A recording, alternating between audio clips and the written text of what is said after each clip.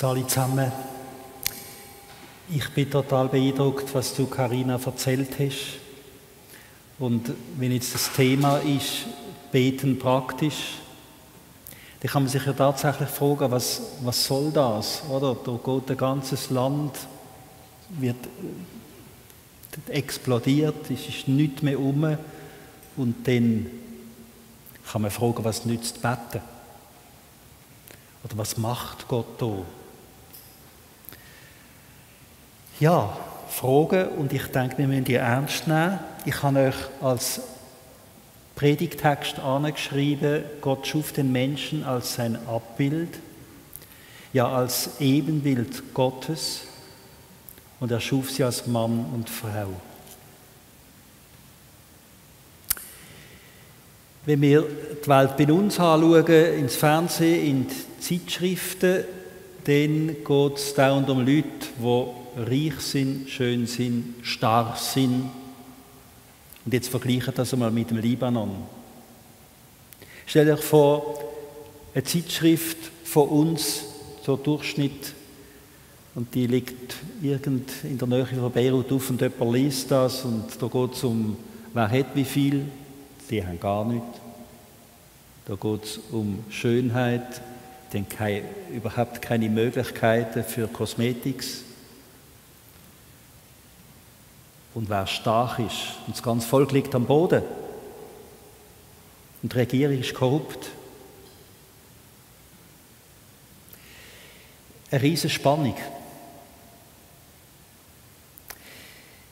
Jetzt, reich, schön, stark ist an sich nicht schlecht, aber wenn man das in dieser Welt anschaut, ganz verrückt. Ich werde euch vom französischen Philosoph Blaise Pascal berichten, der sagt, es gibt drei Ebenen von der menschlichen Existenz. Zur untersten Existenz gehört eben das, was ihr da vorne leset. Und dann gibt es eine nächste Ebene. Die zweite Ebene, da sagt der Blaise Pascal, da geht es um die Ebene Genie, Kunst, Wissenschaft. Das hat dann mit Vernunft zu tun, die Ebene. Ich gebe euch Beispiel. Also Beispiel Kunst von Michelangelo, ein Genie, wo einfach sowohl in der Architektur als Malerei und, und, und, bis in die Medizin hinein Gewaltiges geleistet hat. Oder Musik, klassische von Johann Sebastian Bach oder Beethoven oder Hillsong, heute das, was uns ans Herz geht, wunderschön. Das gehört in die Ebene. Oder die Brillanz von Albert Einstein, das steht auch in deren Ebene und das ist, sagt der Blaise Pascal, das ist drüber, über der unteren Ebene. Und dann gibt es noch eine dritte Ebene, aber, sage ich jetzt zur zweiten, die, die wieder in die Schule müssen, wegen dieser zweiten Ebene, gehen wir in die Schule. Die, die Bildung, die Förderung von dieser zweiten Ebene, das, das sollte eigentlich die Schule uns vermitteln. Einverstanden, Pat? Okay, er ist zufrieden und die Schüler müssen es aushalten. Okay, jetzt gibt es aber noch eine dritte Ebene. Und die dritte Ebene, da geht es um Heiligkeit. Das ist eine ganz andere Dimension. Ich habe sie extra auch ein bisschen weiter weg gezeichnet. Und bei dieser dritten Ebene, das ist interessant, heilig, da geht es jetzt nicht um der heilige St. Niklaus oder heilige Sebastian oder weiß ich was, sondern es geht darum, dass die Bibel sagt, es gibt Menschen, die sind so in Beziehung zu Gott, dass man kann sagen, sie sind heilig. Und jetzt ist interessant, dass wenn eine Person heilig ist, dann kommt es überhaupt nicht darauf an, ob sie arm oder reich ist. Kommt überhaupt nicht darauf an, ob sie stark oder schwach ist. Sie kann ein Genie sein oder Analphabet. Das ändert überhaupt nichts, dass sie in der Beziehung zu Gott heilig ist. Jetzt kommt der Clou. Wir alle, die da sind, wir haben die Möglichkeit, in allen drei Ebenen daheim zu sein. Es ist, keine ist zu wenig gut das, sondern wir sind alle mit einbezogen wir dürfen alles erreichen. Der Begriff heilig, der kommt in ganz unterschiedlichen Formen, kommt in der Bibel vor, etwa 500 Mal. Also zum Beispiel Gott ist heilig. Oder Gott schenkt uns sein Heiliger Geist. Und das heißt, du bist berufen, an der Heiligkeit vor Gott teilzuhaben. Und jetzt sind wir bei unserem Bibeltext. Gott schuf den Menschen als sein Abbild, als Gottes Ebenbild und er schuf uns als Mann und Frau. Das ist wie Gott. Das ist ein Geheimnis, wie genau, aber es ist, wir weisen mit dem, wo wir sind, auf Gott hin. Gott hat uns als Partnerin und Partner berufen. Das hat riesige Vorteile. Ich muss mich nicht selber erfinden. Ich muss nicht, nicht irgendetwas machen, damit ich jemand bin, sondern wenn ich das in der Bibel lese, kann ich sagen, ich bin schon jemand. Ich bin das Abbild von Gott. Und das bin, das sind wir, noch bevor wir geboren worden sind, ist es klar vor Gott, wie er dich sieht. Er sieht dich als sein Abbild. Er sieht dich mit einer riesigen Kreativität. Er sieht dich mit einem Potenzial, wo göttlich ist, wo du ausschöpfen darfst. Und da bin ich Gott sehr dankbar, dass Gott selber mich so sieht und dich so sieht. Und jetzt kommen wir zum Thema Gebet. Beten, ich will es heute oben noch mal so sagen, Beten ist das größte Abenteuer vom Homo sapiens. Weil Beten ist zwar nicht unvernünftig, wenn er jetzt die drei, kannst die drei Ebenen nochmal zeigen. Also Beten ist nicht unvernünftig, hat nichts mit der zweiten Ebene zu tun. Und auch nicht, hat, Beten ist, hat, nicht, hat auch mit der untersten Ebene zu tun, aber Beten ist wie ein Vogel, der steil aufsteigt. Es gibt so Lerchen, die starten so. Und ich denke, Beten ist etwas, wo weit aufsteigt, wo manchmal weit über unsere Vernunft ist, wo mit einem Gott Kontakt aufnimmt, wo sowieso viel größer ist, als wir es können verstehen. Aber da passiert etwas. Das ist real.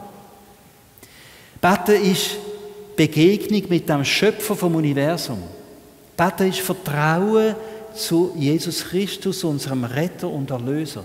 Beten ist das Lose, was die feine Stimme vom Heiligen Geist, was da sagt. Und darum sage ich, ein riesen Abenteuer, weil im Gebet komme ich zu dem, wo ich eigentlich bin. Man kann mich auch chemisch anschauen, sonst viel Wasser und so weiter und so fort. Aber zu meinem Eigentlichen komme ich, wenn ich in die Beziehung zu Gott tritt. Ich komme in meine Gott-Ebenbildlichkeit hinein.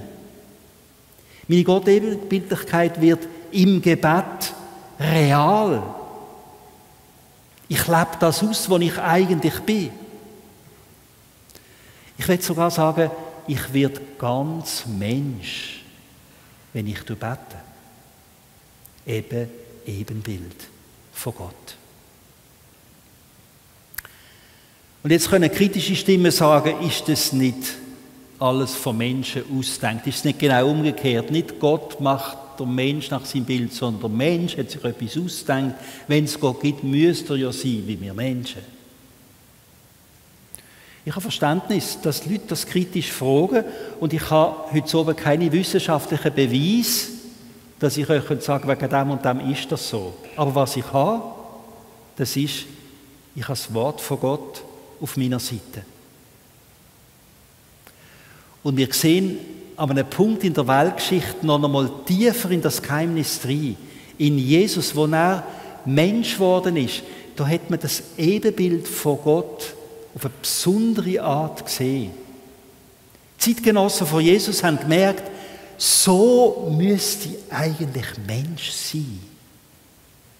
So umsichtig, so liebevoll, so offen nach oben. So müsste Mensch sein.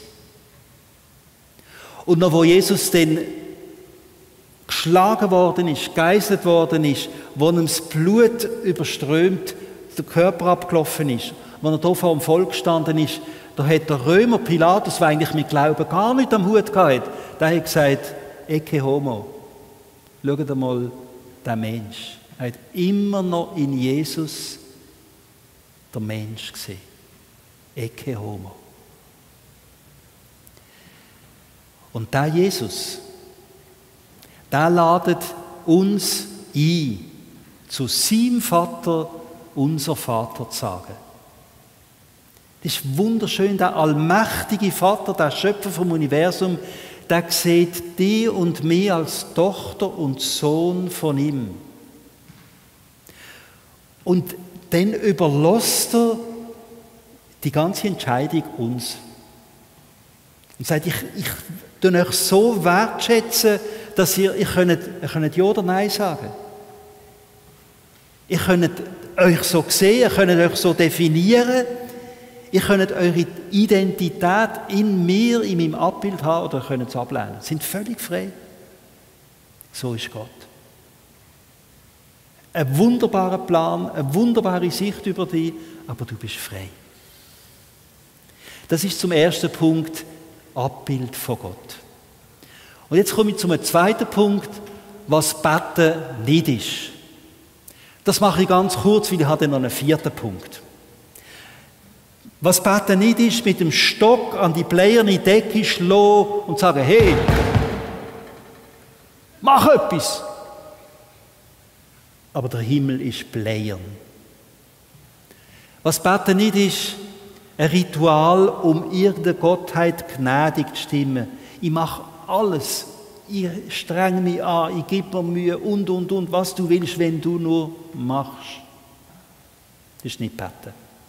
Oder der Schwache stützt sich auf einen Strohhalm, um sich zu trösten. Ist nicht Gebet. Oder Gott meine Welt erklären, ist nicht Gebet. Arbeitsauftrag an der Schöpfer erteilen macht sowieso keinen Sinn, ist nicht kein Gebet. Ich sage etwas zum Ersten noch. Wenn der Himmel über uns wie Blei ist, und das kennen wir wahrscheinlich alle, du betest und hast den Eindruck, gehört, gehört mir jemand? Dann werde ich dir sagen, das ist normal.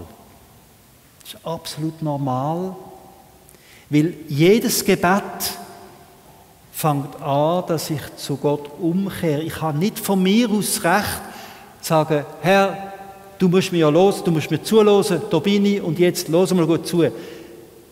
Dass Gott lost, ist ein Geschenk. Und darum komme ich nicht zuerst im Gebet mit meinen Gedanken und erkläre Gott die Welt, sondern Gebet fängt damit. Ich bin da und ich fange an zu hören.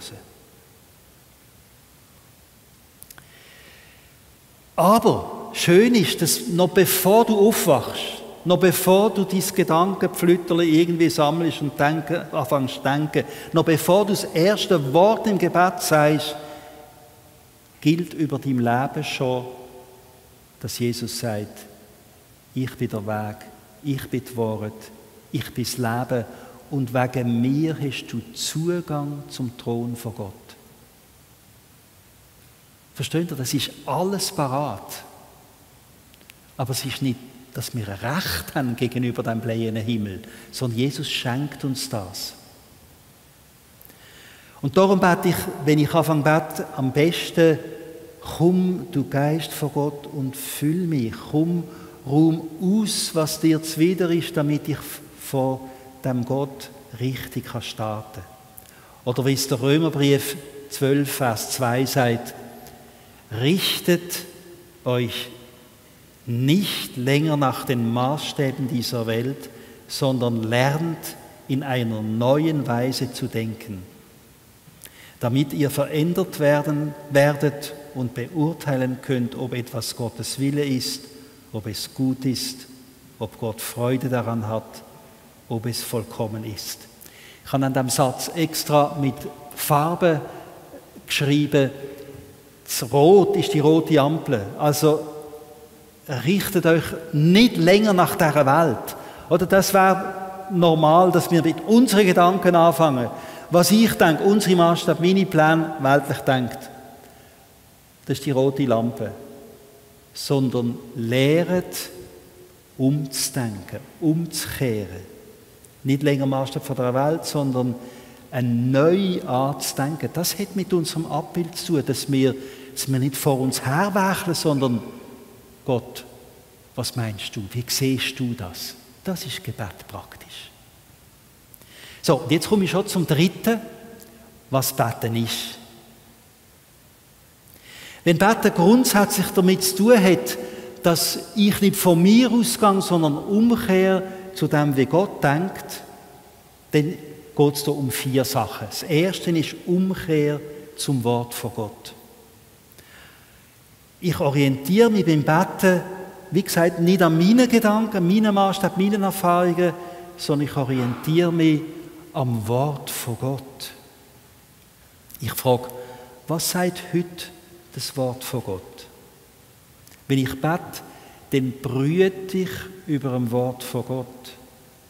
Ich reflektiere das Wort von Gott. Ich sage es für Raucher, ich inhaliere das Wort von Gott. Ich speichere das Wort von Gott in mir. Ich sage es noch für Veganer, ich verstoffwechsle das Wort von Gott in mir. Verstehen ihr? Gebet, das ist eigentlich nicht ich, sondern was sagt jetzt das Wort von Gott über mich?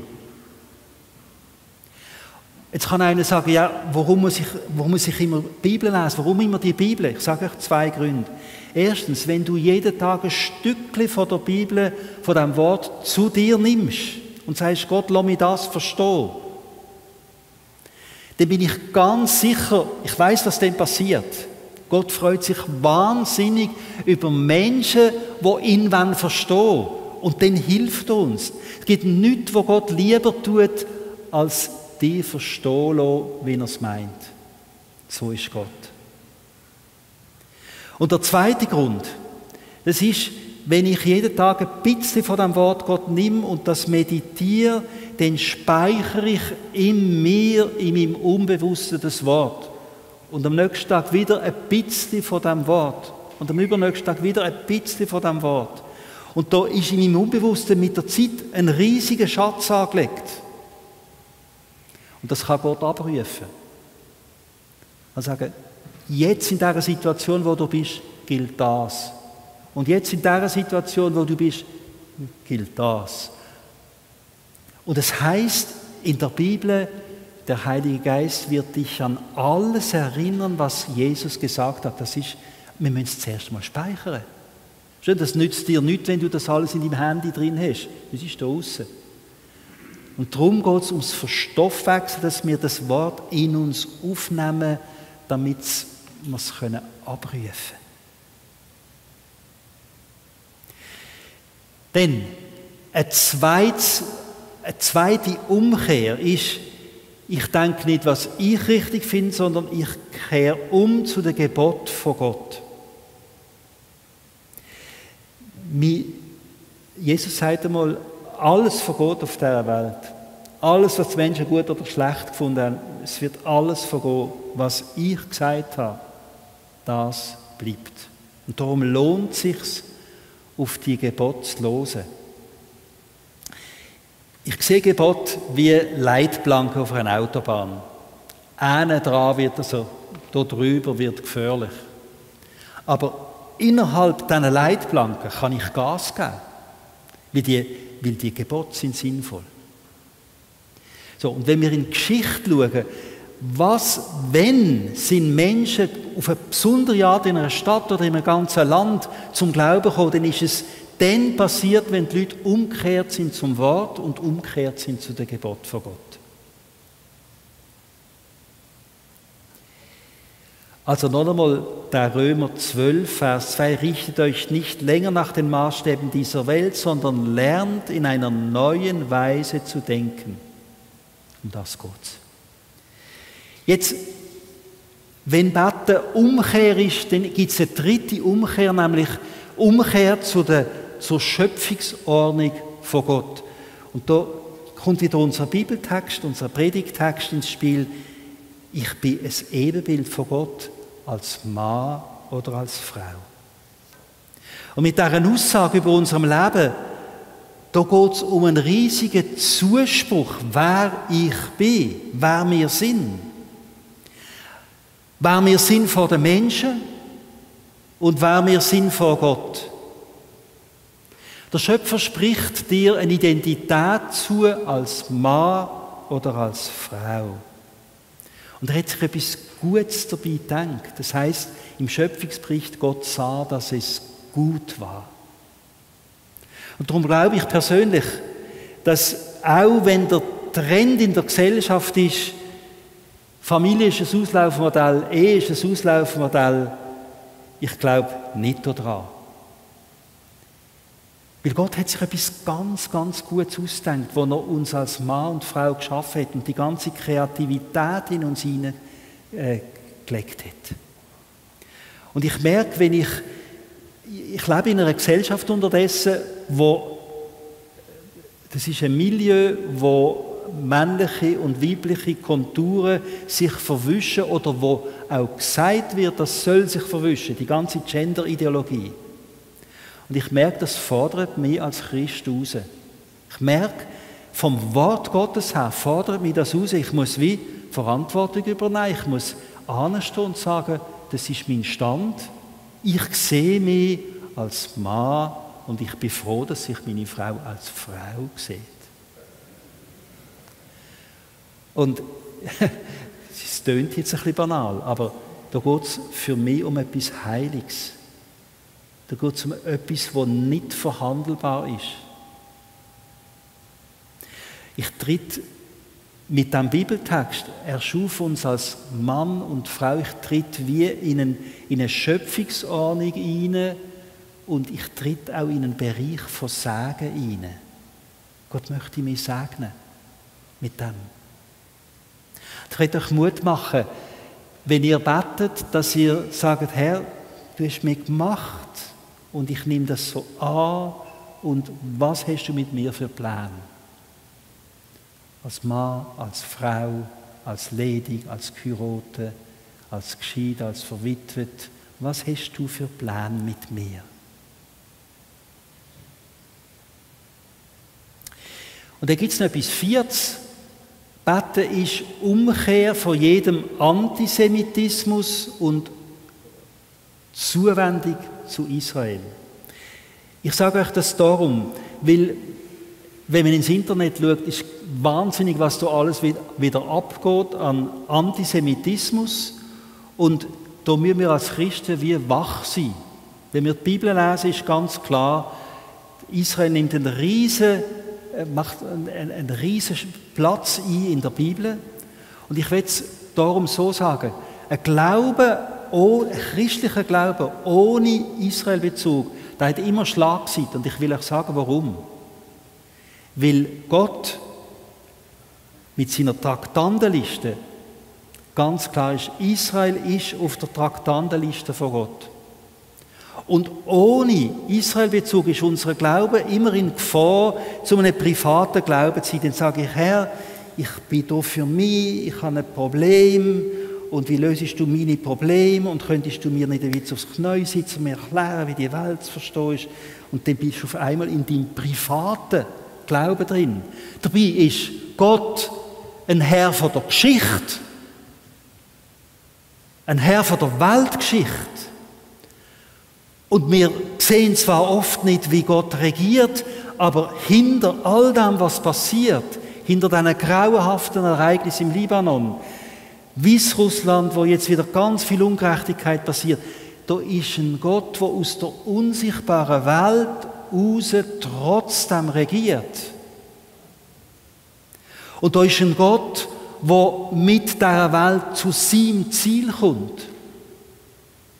Trotz all dem, wo wir da schrecklich sehen. Und da ist ein Gott, wo Jesus als Richter eingesetzt hat. Und darum, was heute schimmelig und eitrig unter der gesellschaftlichen Oberfläche rumort, das wird Jesus ans Licht bringen.